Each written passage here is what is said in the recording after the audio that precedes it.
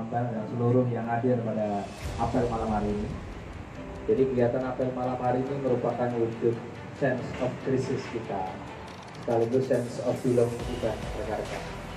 Artinya dengan dinamika di kota Surabaya seperti ini, ada keterpanggilan dari pemerintah kota, dari Polrestabes, maupun dari rekan-rekan TNI untuk memastikan situasi Surabaya umumnya dan wilayah raya 2 dari mulai Wonokromo, Tegalsari, Genteng dan Sawangan dalam situasi aman dan kondusif.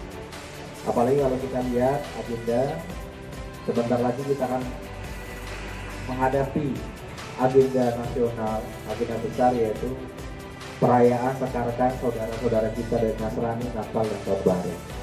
Tentunya ini yang membutuhkan rasa tanggung jawab kita bersama.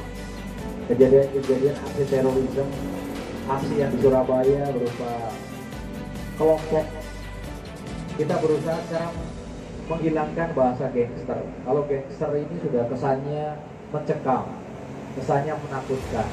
Itulah kenapa kemarin dari Pak Wali Kota maupun dari Pak Kapolres Tabes